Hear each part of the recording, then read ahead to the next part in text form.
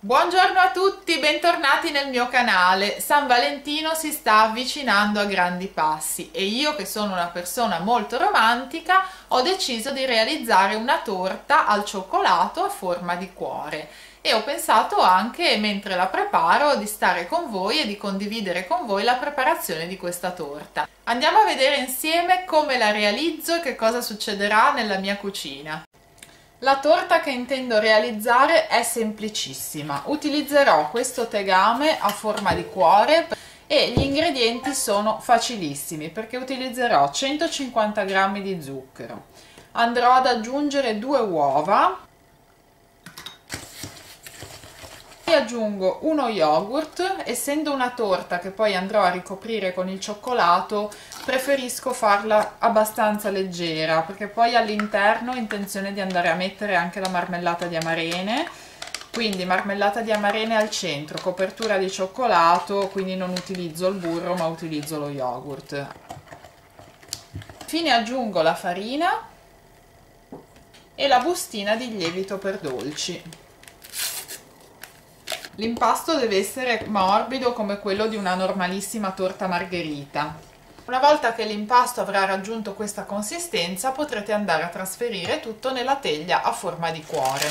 Adesso la cuocio in forno statico a 180 gradi per circa 30-40 minuti, quello valutatelo in base al vostro forno. Comunque fino a qui è una semplicissima torta margherita, poi dopo vi farò vedere come la vado a decorare, come la vado a fare. Una torta di San Valentino ha sicuramente bisogno di qualche decorazione romantica, quindi utilizzerò la mia formina a forma di cuore, quella per i biscotti, utilizzerò la pasta di zucchero, io utilizzo questa già pronta perché comunque adesso non ho il tempo per realizzarla io, e poi del colorante per alimenti di colore rosso prendo un pezzettino di pasta di zucchero e la stendo con il mattarello. Farò delle decorazioni molto molto semplici niente di particolarmente complicato ma tanto per dare a questa torta come dicevo un tocco di romanticismo perché appunto è San Valentino quindi insomma almeno a San Valentino facciamo qualcosa di un pochino più sfizioso e romantico.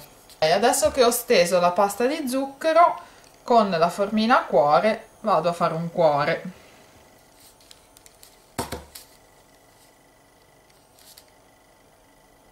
lo lascio un momento da parte. È venuto così non so se lo vedete. Adesso vado a fare un cuore un pochino più piccolo. Utilizzerò sempre la stessa formina perché non ce l'ho di tre misure diverse.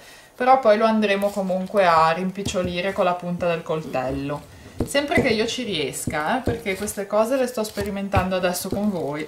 Ok ho steso anche l'altro pezzo. Vado a mettere sopra la formina e poi vado a fare il cuore un pochino più piccolo quindi praticamente con la punta del coltello seguo i bordi così. Mi prendo due misure faccio in questo modo. Ok e vado a disegnarmi un cuore seguendo praticamente la linea di quello più grosso ma lo vado a fare un pochino più piccolo in modo da avere poi le tre misure andiamo a staccarlo poi lo modello leggermente con le mani lo aggiusto. Ho due cuori adesso ne vado a fare uno che sia una via di mezzo fra questi due. Sempre con la nostra solita formina andiamo a fare la forma del cuore. Seguo i bordi con la punta del coltello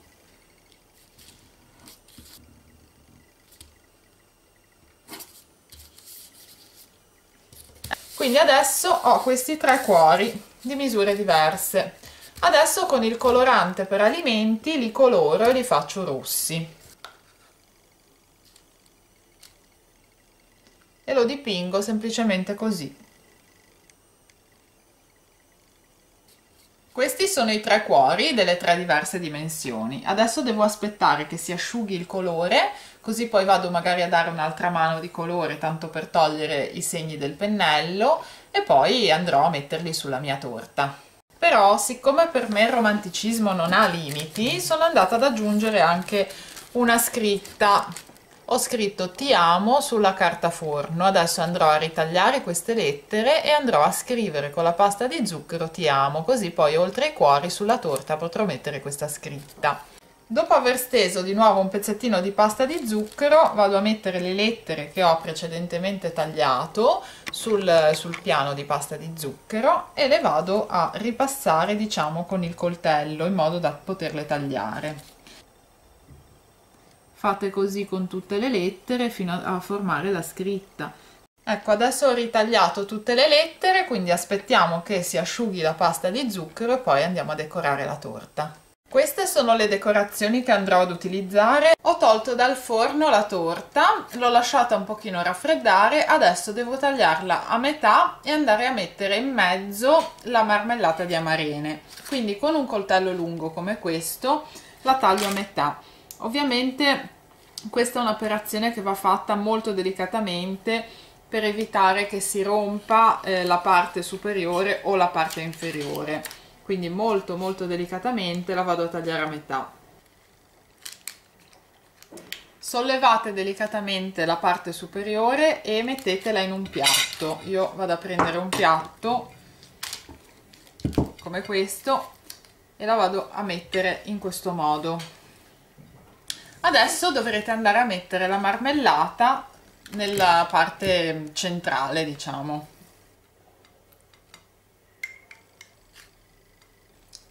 Adesso vado a mettere l'altro strato, quello che ho tagliato, di nuovo al suo posto. Fate attenzione, fatelo delicatamente in modo che non si rompa. Ecco qui.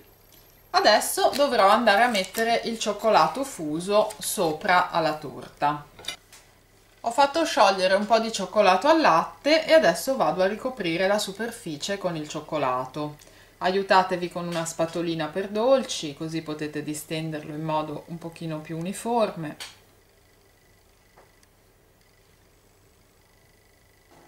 Comincio a mettere la scritta. La scritta la metto lateralmente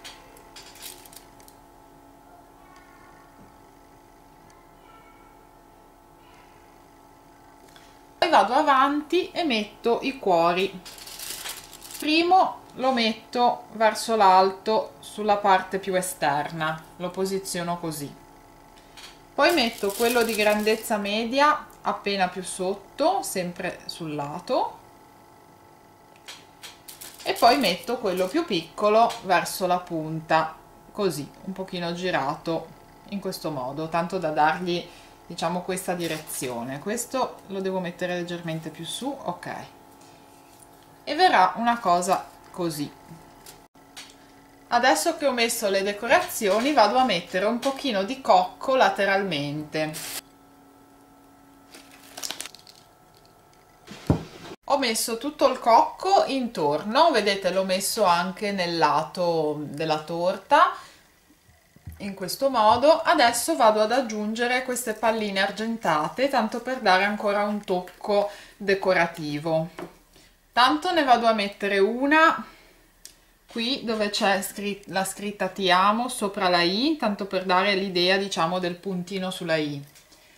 E poi metto qualche pallina argentata tra i cuori in modo da dare un senso di unione tra i cuori poi sempre senza esagerare però magari ne metto qualcuna anche a lato qua tutto intorno al bordo.